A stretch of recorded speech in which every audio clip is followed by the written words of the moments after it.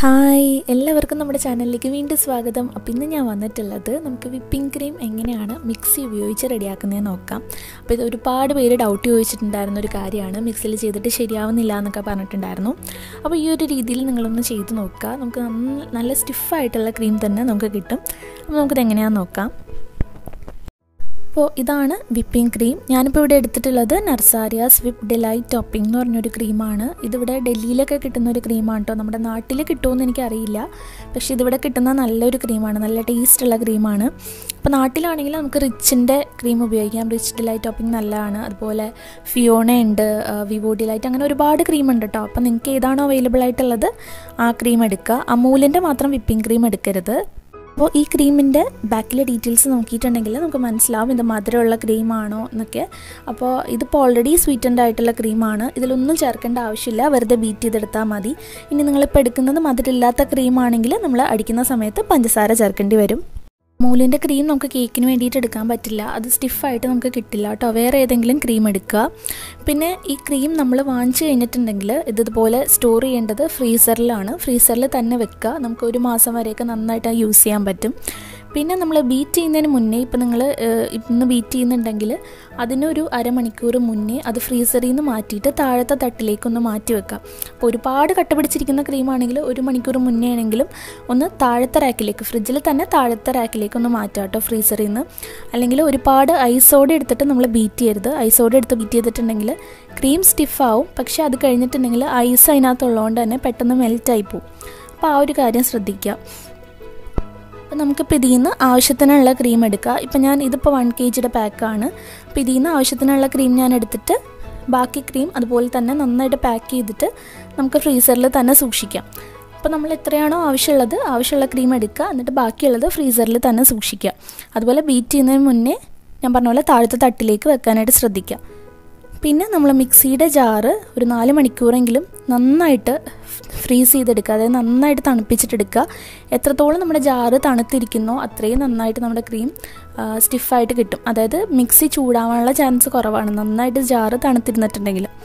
നന്നായിട്ട് തണുത്ത ജാറിലേക്ക് നമ്മൾ വിപ്പിംഗ് ക്രീം ഒഴിച്ചു കൊടുക്കുക.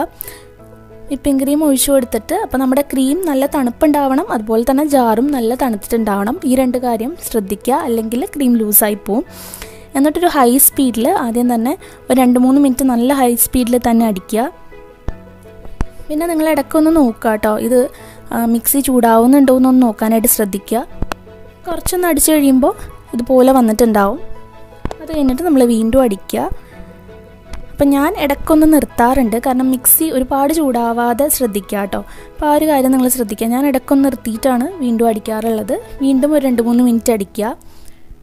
അപ്പോൾ കുറച്ചുകൂടെ ഒരു സോഫ്റ്റ് പിക്സ് ഒക്കെ പോലെ വന്നതായിട്ട് നമുക്ക് കാണാൻ പറ്റും. കണ്ടില്ലേ? ഈ ഒരു രീതിയിൽ ചെറുതായിട്ടൊന്ന് സ്റ്റിഫായി തുടങ്ങിയിട്ടുണ്ട് ക്രീം നമുക്ക് എടുത്ത് നോക്കിയാൽ മനസ്സിലാവും. നേരത്തെ ആ ഒരു കൺസിസ്റ്റൻസി അല്ല കുറച്ചൊരു സോഫ്റ്റ് പീക്സ് ഒക്കെ പോലെ വന്നിട്ടുണ്ട്. അതിനുശേഷം നമ്മൾ വീണ്ടും ഹൈ സ്പീഡിൽ തന്നെ അടിക്കുക. അപ്പോൾ ഇടയ്ക്കൊന്ന് നിർത്തുക ഒരുപാട് നേരം നിർത്തണ്ട മിക്സിയിൽ തണുപ്പ് പോകരുത് പക്ഷേ ഇടയ്ക്കൊന്ന് സ്റ്റോപ്പ് ചെയ്യുക. മിക്സി ഒരുപാട് ചൂടാവാതിരിക്കാൻ വേണ്ടിയിട്ടാട്ടോ. എന്നിട്ട് വീണ്ടും ബീറ്റ് ചെയ്യുക.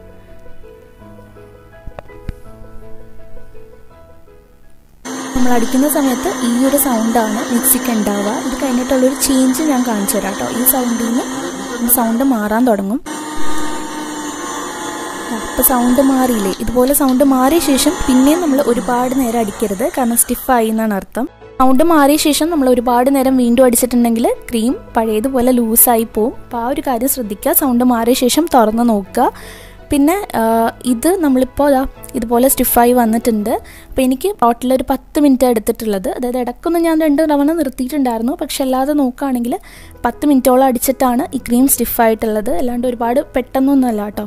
അപ്പോൾ ഇതുപോലെ സ്പൂണിലെടുത്ത് നോക്കിയിട്ടുണ്ടെങ്കിൽ നമുക്ക് മനസ്സിലാവും. ക്രീം താഴെ വീഴുന്നില്ല എന്ന് ഇതൊരു അരമണിക്കൂർ ഒന്ന് ഫ്രിഡ്ജിൽ വെച്ചിട്ട് ഒന്ന് തണുപ്പിച്ചെടുക്കുക. ഫ്രീസറിലല്ല താഴത്തെ തട്ടിൽ വെച്ചിട്ട് ഒന്ന് തണുപ്പിച്ചുകൂടെ എടുക്കുകയാണെങ്കിൽ നല്ല സ്റ്റിഫായിട്ടുള്ള ക്രീം തന്നെ കിട്ടും. അപ്പോൾ നിങ്ങൾ ഉപയോഗിക്കുന്ന മിക്സിയൊക്കെ അനുസരിച്ച് ചിലപ്പോൾ വ്യത്യാസം ഉണ്ടാവും. ചിലപ്പോൾ നിങ്ങൾക്ക് പത്ത് മിനിറ്റ് ഒന്നും എടുക്കില്ല കേട്ടോ. അതിന് മുന്നേ തന്നെ ക്രീം സ്റ്റിഫാവും. ചിലപ്പോൾ അതിൽ കൂടുതൽ ടൈം എടുക്കും. അപ്പോൾ അത് ഒരു മിക്സ് അനുസരിച്ച് ഡിഫറൻസ് ഉണ്ടാവും. അപ്പോൾ നിങ്ങൾ പെട്ടെന്ന് തന്നെ ക്രീം സ്റ്റിഫായി വരും എന്ന് വിചാരിക്കരുത്. ഞാൻ പറഞ്ഞ പോലെ ഒരു പത്ത് മിനിറ്റ് ഒക്കെ എന്തായാലും എടുക്കും.